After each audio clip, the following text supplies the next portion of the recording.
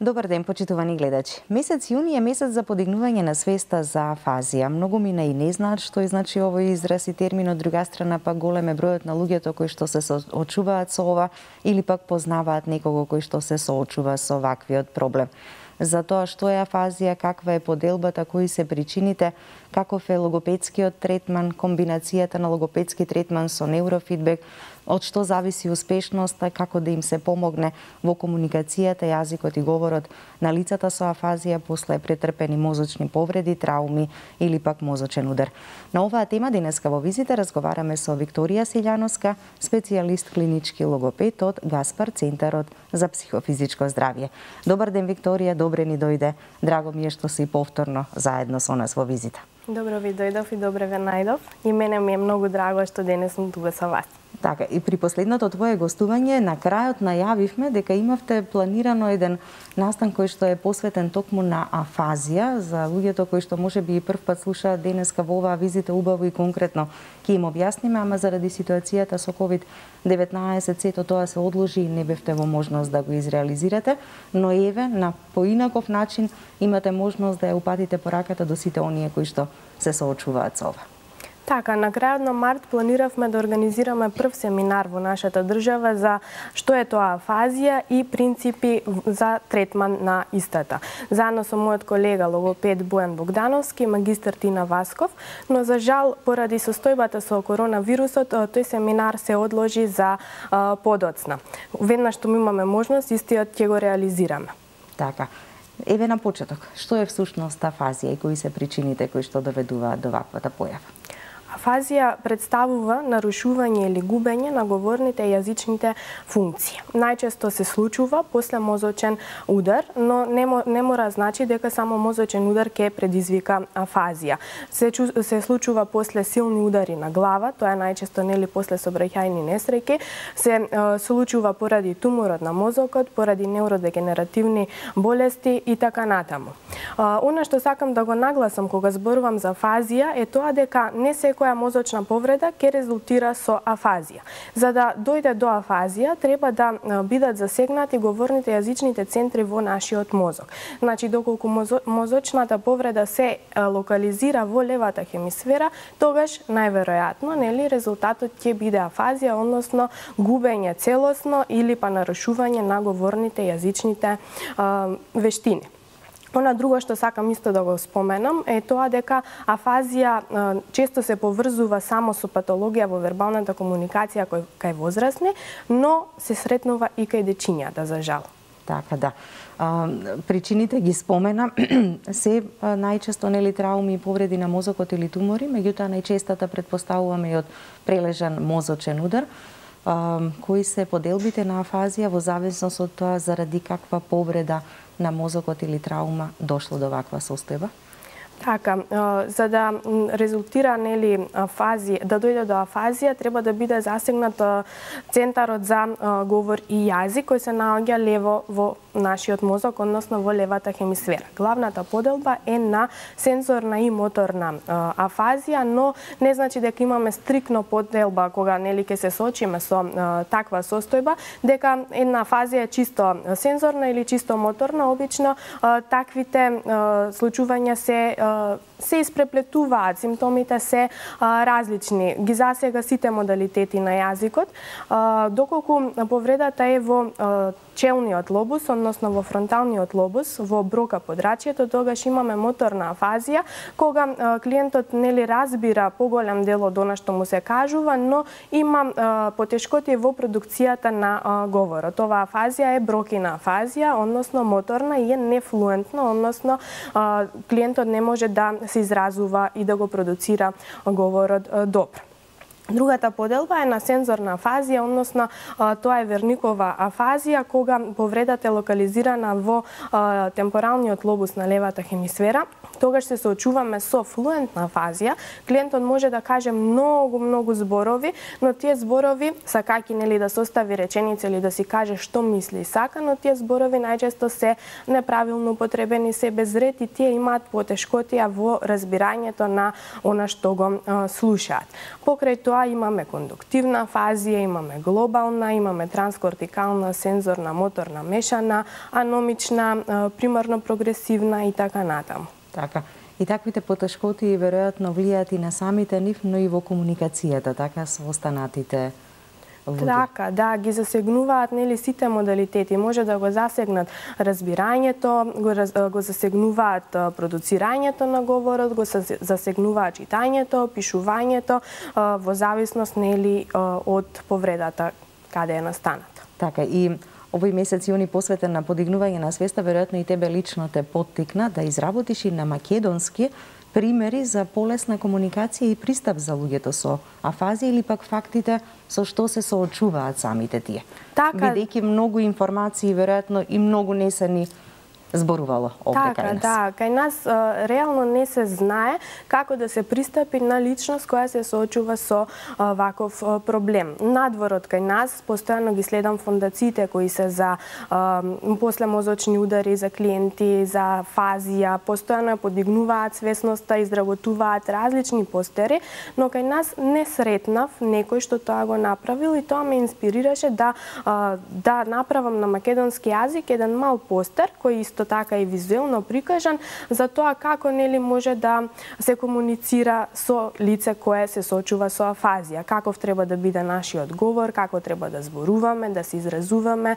Исто така кажав и неколку факти поврзани со нив, кои луѓето сметам дека недоволно ги знаат и тоа всушност ги е, прави да бидат малку дистанцирани кога ќе се соочат, односно кога ќе се запознаат со е, вакво лице, не знаат како да му приидат. Сметам дека таквите е, постери и ваквото јавно зборување, подигнување на свеста ќе не оформи на поширока слика за тоа всушност што представува афазија. Така, добро е кога млади луѓе надежно размислуваат нели за вакви работи, да се поттикне свеста кај секого и на овој начин барем полека така да почнеме да го промовираме сето она што ќе им биде од помош посебно на луѓето и пациентите кои што се соочуваат со овој проблем. Афазија или комуникација со бариери, така беше така, да. и насловено она своето нели кое што го имаше напишано. Да, тоа им инспирира нели од американските најчесто фондации и здруженија кои работат нели постојано со афазија, тоа ми да, тоа што го гледам таму ме инспирираше за нешто такво да донесеме и тука и со таквите постери, со таквите картички, фотоалбуми, нели во иднина ќе најверојатно ќе имаме такви прилики за изработка, да подигнуваме свеста и пред се, што мене ми е најважно како логопед, да направиме лицата кои се сочуваат со вакви проблеми да се чувствуваат удобно да не изгубат социјалната комуникација со околината. Така да, или пак останатите да не гледаат чудно на нив, или пак да најдат начин така пред да. да, да им помогнат. А, како се диагностицира и третманот, односно во основата и суштината логопедскиот третман така кој што би им помогнал на овие лица? Пред се треба да исклучиме се што подсетува на афазија. Затоа што пример доколку ни е засегнат слухот, односно доколку имаме оштетување или губење на слухот, нели ке не може да се продуцира и ке не може да се разбере што ни се кажува. Треба да исклучиме дека станува збор за дизартрија, треба да исклучиме дека станува збор за проблеми во визуелните способности, моторните способности и откако сите тие диагнози ќе се исклучат, веќе се пристапува кон одредени тестови Тестови за да утврдиме за каков вид на фазија станува збор збор. Има различни тестови. Најчесто сите тие испитуваат на сличен начин, се испитуваат сите говорни јазични модалитети. Од клиентот се бара да именува одредени предмети, се бара да одговори на отворен тип на прашања поврзани за неговиот личен живот, поврзани за околината во која моментално е, се бара да одговори на прашања од понудена слика пред него, се бара да повтори зборови, прости реченици, сложени реченици, се испитува дали нас не разбира што ние му кажуваме, односно дали може да изврши инструкции, прво поедноставни, па потоа по сложени. Се бара да се провери дали тој може да чита, доколку чита дали тој го разбира она што го чита, дали е засегнато пишувањето. Откако ќе се добијат сите потребни податоци, логопедот изработува план и програма кои се индивидуални и веќе може да се почне со логопедска терапија се смета нели како и за се во логопедијата, колку порано е почнато, толку ќе има по поубав резултат, односно попозитивен резултат. Значи, веднаш штом клиентот е спремен, се препорачува да се почне со логопедска терапија. Така и нема отстапување, упорноста и страјноста веројатно како и во секоја така. работа за да го постигнеме успехот. Како изгледа еден логопедски третман со лице со афазија и од што зависи колку ќе се постигне посакуваниот успех? Така, логопедскиот третман со лице со афазија, поготово кога личноста е повозрастна, е доста почувствителен отколку нели кај помлада личност или кај децата. Пристапот нели зависи пред се од нас и многу е важно како личноста на нас ќе реагира, затоа што многу лесно звучи вака во теорија кога зборуваме, но времето поминато нели на семејството и на нас со личноста може да го направи направи тажен, да го направи сфрустриран. Сето тоа е тешко кога една личност се соочува со такви проблеми. Значи, она што постојано го кажувам и некојаш може би сум досадна личност која до пред некој ден функционирала нормално во општеството, имала нормална комуникација, можела да каже што мисли, што сака, веќе не може. И тоа нели може да замислите само колку е фрустрирачки и колку негативни емоции може да побуди. Она што јас како логопед се обидувам да го направам е да ги компензирам изгубените вештини со алтернативен начин на изразување, да му помогнам на клиентот да се осеќа удобно, да не се повлекува во себе во моментите кога ќе сака нешто нели да каже, да побара, да истакне свое а, мислење. А, се препорачува нели ран пристап. Во а, логопедската терапија вклучуваме визуелни картички. Исто така препорачувам да се изработи со моја помош и со помош на најтесното обкружување на клиентот книга со поими. Во таа книга со поими ќе има предмети од секојдневниот живот, видови на храна, се буквално што не обкружува и таа книга ќе му помага на клиентот да каже што сака во одреден момент, кога во, не е во можност нели да продуцира или да разбере што ние го прашуваме. Исто и нас ќе ни помогне, односно на семејството и неговата околина ќе помогне да му понудат избор. Ајде одбери што сакаш, тоа многу ќе му олесне. Иста така вклучуваме визуелни картички, се препорачува работа во група, електронските уреди доста ни помагаат кај лица со афазија и во зависност нели од целата состојба, во зависност од она кој го имаме пред нас и со која се соочуваме, се одлучуваме на кој начин ќе се одвива целиот третман. Дали ќе се одвива со специфично стимулирање на одредени вештини, дали ќе го стимулираме само јазикот, односно само говорот, дали ќе го стимулираме читањето, разбирањето, пишувањето или па ќе се одлучиме за еден третман кој ќе опфати стимулација на колку што е можно повеќе комуникација за во секојдневниот живот, е нели во согласност со ситуацијата во која клиент клиентот се наоѓа. Доста важни се нели возраста на клиентот, важно е неговото образование, важно е семејството. Дури едно од неважните алки во целиот овој процес е семејството, затоа што тие се котерапевти во целиот овој процес. Важно е колку клиентот е мотивиран колку а, има волја да да ги работи вежбите, колку се труди, колку се вложува. Значи, а, исто така многу е важно на кој начин тој мене ќе ме прифати. Така, да. целиот Логопедот во исто време и психолог треба да биде предпоставувам така, некоја улога и на психолог за да можете така да, да. пристапите да. полесно за полесно да се одвива и третман. Пристапот кон лица со афазија, поготово затоа што се нели најчесто повозрастни, е доста чувствителен и не може ние да се однесуваме како со некој кој не знае да. да не разбере или не знае да ни одговори на она што го бараме. Тој знае но сето тоа е нели во моментот невозможно и ние треба да му дадеме насоки на кој начин да се а, изјасни. Така да. Како што спомена, семејството е многу важно. Меѓутоа, семејството некогаш не може само да го постигне она што може стручно лице, така? Бидејќи, како да. што рече, се проценува на вистина состојбата каква е и се почнува од онаму кое што е суштинско и вистинско за успешниот третман. Токму така, семејството дури е најзасегнато, затоа што семејството да. го врви целиот ден.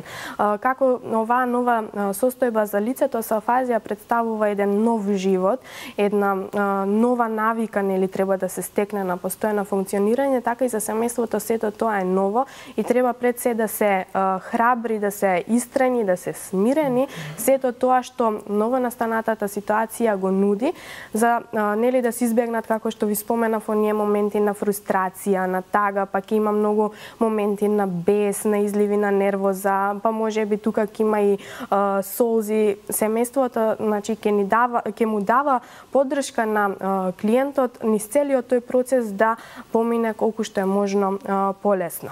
Така. Кои други терапевти се вклучени освен логопедот во третманот на афазија, бидејќи така велиме рехабилитацијата после доживеан мозочен удар или која било друга некоја мозочна траума или пак повреда, си бара еден може би малку долготраен процес на најразличен вид на рехабилитација. Потребна име на тие луѓе. Она што им го кажувам на клиентите, односно на семејството, кога ќе дојдат за консултации пред да закажеме преглед, е да не очекуваат дека се ќе се случува брзо. Ваквите терапии може да траат со години, на вистина се долги и тешки. Нели, ако е засегнат говорот, се вклучува логопед после мозочната повреда. Најчесто нели е проследено со хемипареза, затоа треба да се вклучат и физијатер, се вклучува физиотерапевт, терапевт, се вклучува окупационен терапевт, нутриционист, се вклучува медицинска сестра или техничар и доколку се изведуваат неурофидбек третмани, се вклучува и неурофидбек терапевт. Така, и каков е тука успехот или пак успешноста кога веќе ќе се комбинира и со неурофидбек и што значи всушност неурофидбек, освен логопедскиот третман кај лица со афазија? Неурофидбек ќе го стимулира мозокот да не биде постојано релаксиран, да не биде поспан, да не биде дефокусиран. Се забележува според сите истражувања дека освен што е се засегнати говорните јазичните функции после мозочен удар, се забележува и когнитивен дефицит. Со неурофидбек терапевтот нели, односно самата метода ќе го стимулира мозокот да да ја подобри меморијата, да не се наоѓа во таа постојана состојба на релаксација и сето тоа ќе помогне полесно да функционира. Јас како логопед ќе работам на говорните јазичните вештини, а со неурофидбек ќе се стимулираат мозочните бранови кои е потребно да се стимулираат со цел тој когнитивен дефицит да се подобри. Така. Ги споменуваме мозочните удари и мозочните повреди, меѓутоа и други болести кои што си одат со годините и со так. а, со возраста и со староста, кои други може да предизвикаат Афазија? Може да предизвикаат тумори на мозокот. Тука ќе испомнам најпознати што им се нагледачите. Алцхаймер исто така може да предизвика афазија, но тоа нема да биде наеднаш. Најчесто ќе треба да помине подолго време, но симптомите ќе се манифестираат. Ќе биде потешко нели да се изговорат реченици, да се изговорат зборови, нема да им текнува. Значи има повеќе, но еве како најпозната што им е Алцхаймер ќе ја истакне. Така да, од секојдневното искуство, колку бараат ваква помош логопедски третмани луѓето по доживеаните вакви трауми кои што имаат афазија? Знаат ли, свесни ли се, оставаат ли да живеат со таквата состојба или пак едноставно тие или пак некои нивни блиски им посочуваат дека може да побараат помош? Времето во кое ден живееме, дали од стресниот начин на живот, дали некои други причини се а, засегнати, предизвикува повеќе мозочни удари и го засегнуваат тие мозочни удари а, говорот и јазикот и луѓето а, денес знаат каде да се обратат затоа што ние се трудиме и докторите веќе да, ги да. ги праќаат порано ако имало многу малку денес има се повеќе и повеќе и веќе знаат дека а, логопедите не само со деца туку работат и со а, возрастни. Мене ме загрижува друго, ме загрижува функционирањето во општеството на овие лица. Познавам клиенти кои на вистина веќе се подвижни, можат сами да си се грижат за себе, да одат до продавница, да кажеме, но тие некои блокади кои настануваат во начинот на продуцирање на говорот за нив се на вистина голема пречка и се плашат да бидат социјални. Затоа И советувам секогаш со себе да носат а, лист и пенкало со цел а, да кажат пример еве кога одат во маркет или кога одат во нова група на луѓе, да кажат како се чувствуваат, односно што бараат од спротивната страна. Дали тоа ќе го кажа на начин што ќе нацртаат, дали ќе напишат клучен збор, како што вежбаме на нашите часови, или па ќе употребат гест, без да им треба листот и пенкалото. Значи, наоѓаме начин да биде компензирано она што не го може. Е сега, кога веќе ќе спротивната страна ќе биде за запознаена со што се да. соочува, ќе знае како ќе го прифати сето тоа, така? ќе знае како да пристапи. Затоа нели го изработив тој постер за да се расшири наоколу и за луѓето да не се плашат. Доаѓаме во ситуации кога едноставно дали тоа ни е наметнато од општеството, се плашиме како ќе бидеме прифатени или има некои други причини, не знам. Доаѓаме до ситуации кога од спротивната страна се избегнува комуникација затоа што не знае личноста како да приде на личност која се соочува со проблеми во говорот и јазикот. Ако си помагаме еден на друг, така полесно ќе функционираме така, и да. полесно ќе да. го поминуваме секој дневието.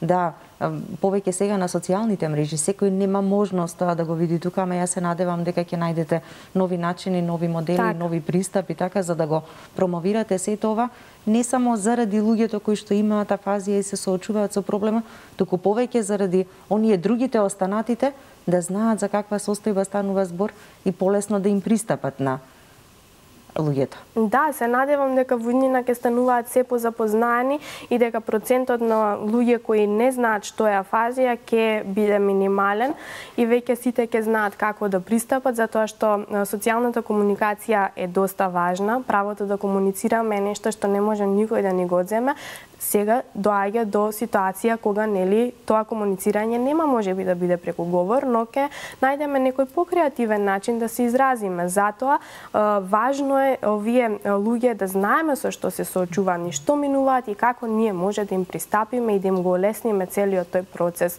на учење на нови вештини на изразување. Так, так, да. И полесно веќе комуницирање и повторно вклопување нели така, во секојдневниот да. живот. COVID-19 и луѓето со афазија актуелната состојба и ситуација која веќе и не можеме да ја изоставиме буквално во секој разговор, во секоја тема од областа на здравството. Како за сите нас, што беше доста стресен период самиот почеток на вирусот, беше доста неизвестен, тажен, можем да кажам, имавме негативни чувства, стравови, секако се трудевме сето тоа да го тргнеме и да останеме со убави мисли, така и за луѓето со афазија беше еден нов период и нормално е да не доминираат малку понеубави чувства. Со клиентите кои можев да се слушам, односно сум во можност да се слушам телефонски или па преку видео повик, пред се ги советував да останат смирени. Исто како што ги почнуваме нашите часови, основно правило ни е биди смирен, вдиши, издиши и почнуваме. Ги советував да ги следат мерките, да останат информирани, да се заштитат себе и своите најблиски, своето обкружување, но да не паничат.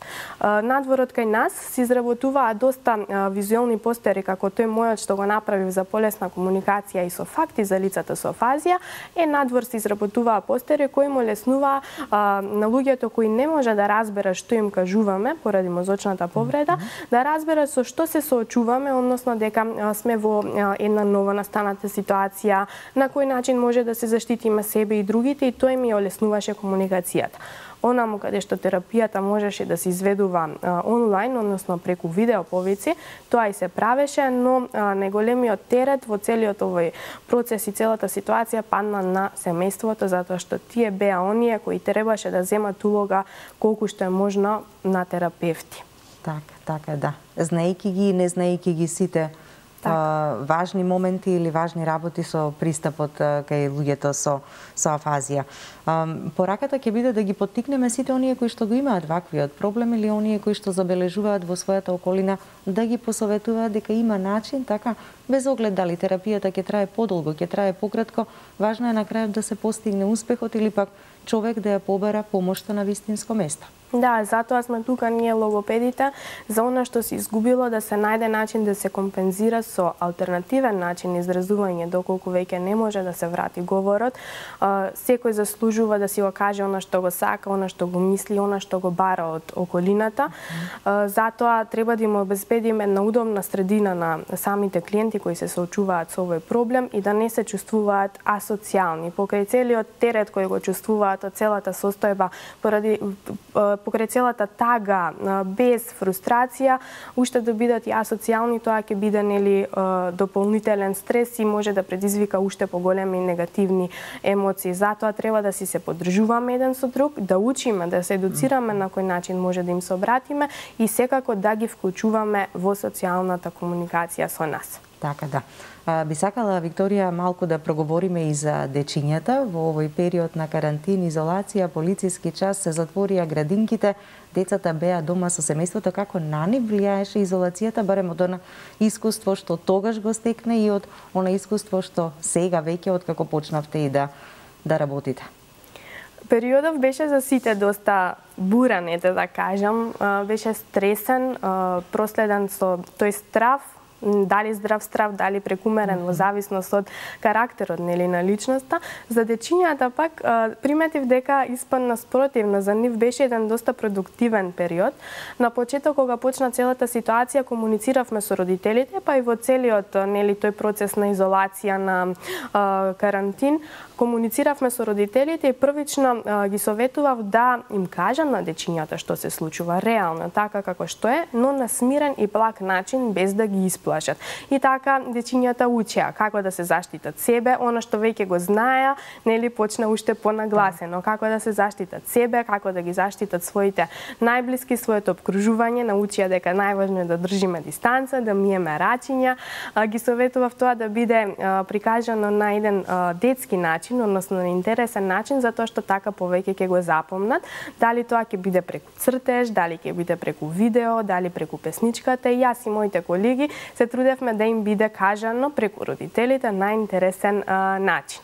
А, времето што го врвеа дома, испадна дека всушност беше време кое им требало на дечињата. Да бидат повеќе со своите родители, да, така? како и сите нас, сите се вративме, да. се свртевме кон семејството, така и дечињата, и затоа беа доста повесели кога се вратија на логопедски часови, во целиот тој процес постојано мислика што научиле, дали научиле некоја буква како да изработат нели од пластелин, дали научиле да ја напишат, па како вежбале да ја изговорат, ете тие што се засегнати со дислалите, или па нацртале некој интересен цртеж и во тие денови кога ќе добиев таква порака или некое кратко видео или слика од нив, ми го разубавуваат денот, морам јавно да признам и сватив дека нив им годи присуството на нивните родители, она затоа што беше постојано. Да. А кога Ама се... значи и дека родителите посветено работеле да, со нив, така? цело време се да не почувствуваат никаков прекин дека Така, дека да, цело време се советувавме и родителите ги следеа нели оние мои совети кои после логопедските часови а, сме ги давале да. и телефонски и преку видео сме се слушале и пробува интересни начини сето тоа да го вметнат во секојдневието на нивните дечиња. И после враќањето а, во логопедскиот кабинет, иако помина а, долго време, дечињата ми се вратија понасмеани, повесели, поенергични, повозбудени за тоа што сме запреле с учење да продолжиме нели да го учиме. Така. Ако предходно првиот контакт со дечињата беше гушкањето, прегратката, насмевката се уште си стои, чудно ли име тоа? Чудно ли е зошто носиш маска, визир, друга опрема заштитна така на тебе кога си заедно со нив во просторијата? Веќе се навикнавме на маската, на визирот. На почеток ни беше доста страшно, па и мене како терапевт си викам како ќе пристапам на дечињата на тој начин, кога ние сме сите социјални, сакаме да се гушнеме, па ќе направиме, ајде дај ми пет, па ќе го штипнеш детенцето. Но дечињата ми дојдоа толку спремни, што не беа воопшто изненадени кога ме видоа со целата моја заштитна опрема, па и тие доаѓаат нели со маски. Постојано знаат да се дезинфицираат комуницираат, ајде сега ќе миеме рачиња, затоа се одлично а, спремни. Она што ми фалеше мене, што се загрижував како ќе биде, како со детенца ќе функционираме на толку поладен начин, да кажам, а, но а, од нивната страна фидбекот е а, добар, влегуваат насмеани, се гледа нели преку очињата им се весели и викаат да да вики како сега ќе се поздравиме, дали со нога или со лак, значи гледам дека веќе да. се добро спремени и а, се прилагодени на нова настанатата ситуација. Така со сите мерки на предпазливост исто си ја продолжувате работата и комуникацијата така во Гаспар центарот и ти како логопед и останатите колеги кај дечиња кои што имаат некој проблем кој што мора да биде надминат во јазичната комуникација. Така, почитувајќи ги сите мерки, нашиот распоред е моментално редуциран,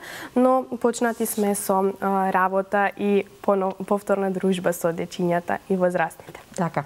Еве, имаме доволно време, еве да го искористиме и моментот, барем малку, иако сме имали посебни теми сме обработувале за најчестите проблеми заради кои треба да се посети логопед, кога најрано, барем за оние родители кои може би допрва ќе се соочат со таков некој проблем кај своите деца. Така.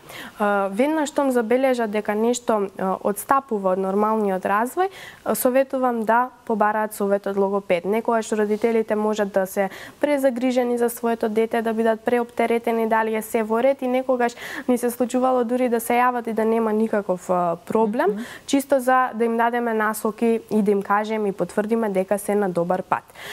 Доколку на 18 месеци детенцето не поврзува две зборчиња во е, фраза, односно доколку не може да ги каже, да каже пример, ајде надвор, мама, дај, е, доколку нема функционални кратки зборови и функционални е, зборови, тоа е нели аларм дека нешто се случува и треба да се обрне внимание и да се стимулира детенцето повеќе. Нема да кажам дека универзална возраст mm -hmm. постои за логопедски третман, ги советувам веднаш штом забележа нешто, да ми се јават. Дали а, тоа ќе биде телефонска консултација, дали ќе се видиме со а, родителите и детенцето, важно да не остане така, да се грижем, грижим, грижат родителите, затоа што колку побрзо се а, превенира нешто, толку подобро ќе биде за понатаму. Така и индивидуално веројатно и кај секој дете, кај некого може би помалку ќе треба време, кај некого може би малку поголема упорност и повеќе време, меѓутоа како велиме, како за секоја работа која ќе го постигнеме успехот, тогаш сме најзадоволни. Така, да. Така е, баш како што кажавте, и она што ги советуваме да не се споредуваат дете со друго со дете. Mm -hmm. И постојано исто така, кажувам так. дека секој е приказно за себе, така и дечињата. Некој ако на две години зборел веќе, може би на некој друг му треба по повеќе стимулација за да го направи тоа. Mm -hmm, да комуникацијата со децата дома е многу важна, така Секако. да не ги оставаме по цел ден пред а, компјутерите или пак пред телевизорот со нивните омилени цртани серии. Така, на лого... на тој начин Да, кога ми доаѓаат на прв логопедски преглед, ги советувам да го тргнат нели телефонот, mm -hmm. да биде ограничено ако веќе мора на 30 минути, нели, не повеќе, ета нај, нај најмногу до 40 минути, но до одредена возраст воопшто не би го дозволила, освен за едукативни содржини. Да, може би родителите ќе речат во ред, ќе го примениме, примениме и тоа, ама дали на вистина во пракса е таква состојбата или пак за жал не?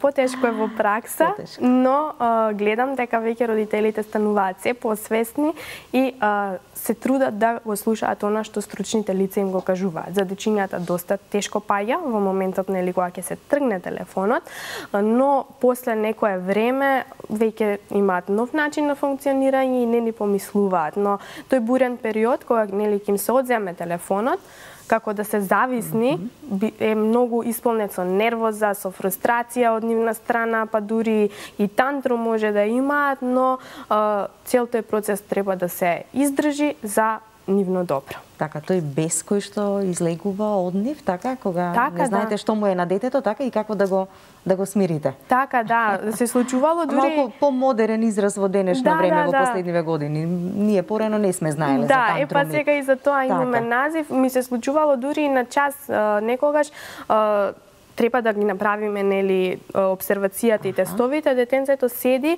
и гледа во телефон. И нели тука родителот пред се треба да реагира. Аха, да. и ќе имаме нели бурен бурен испат од негова страна, но доколку помине повеќе време и детето се дефокусира на други начини, на пример со читање приказни, со играње на земја, со сложувалки, како минува време, нема ни да му текнува на телефонот, но ова многу лесно звучи во пракса е така. доста потешко и побурно да се И поголема упорност и децата веројатно некогаш отпор имаат кон родителите, така едноставно не сакаат да ги послушаат. Кога некој друг би ги посоветувал или би им рекол, ама родителот да го прифати тоа, дека треба совет и може советот друг да прими, се постигнува Така, да. Од има родители кои што едноставно не дозволуваат. Остави го, детето е такво, не можеш ништо да смениш тука. Да, кога ќе дојде авторитетот надвор, фидбекот кој се добива од детенцето е по добар, ете да кажам, дали тоа е дека нова личност е во прашање, па не знаат на кој начин таа би реагирала. Родителите некогаш и се изненадени колку пример детето поинаку реагира на сосем нова личност и колку некои работи кои тие го бар, ги бараат од него, а детето не ги извршува, на нова личност детето тоа ќе го направи без проблем. Mm -hmm, да, мора да се изнеде најдобриот и вистинскиот начин како да му пристапите на детето нели? И во така, да. карактерот, да. и во начинот на однесувањето, но и доколку веќе еве некогаш има некаков проблем да се почне на време со сето тоа. Секако, почнувањето на време е доста важно, да не се чека затоа што имаме многу случаеви кога дали поради недоволно информираност, дали поради незнање каде да се обратат, врват многу години, детенцето ете да речеме ќе одземам дислалија, се сочува Аха. со проблем со изговарање на голем број на гласови, има одредена возраст, 4-5 години, а има засегнато една цела група на гласови за некое време треба да тргне во школа и родителите дури тогаш ни се обраќаат. Тоа ќе се реши да, но тоа е долг процес и додека не се реши може да предизвика подоцна проблеми во читањето, во пишувањето, значи доколку се обратат на време, сите тие дополнителни проблеми кои подоцна може да дојдат, ќе бидат избегнати. Така, кога ќе дојде времето за научилиште, да бидат на, на минимум сведени, така, или да остане уште многу малку што треба да ја подобри состојбата. Токму така, така да. да. Викторија, ти благодарам за гостувањето. Ви благодарам и вам. Да.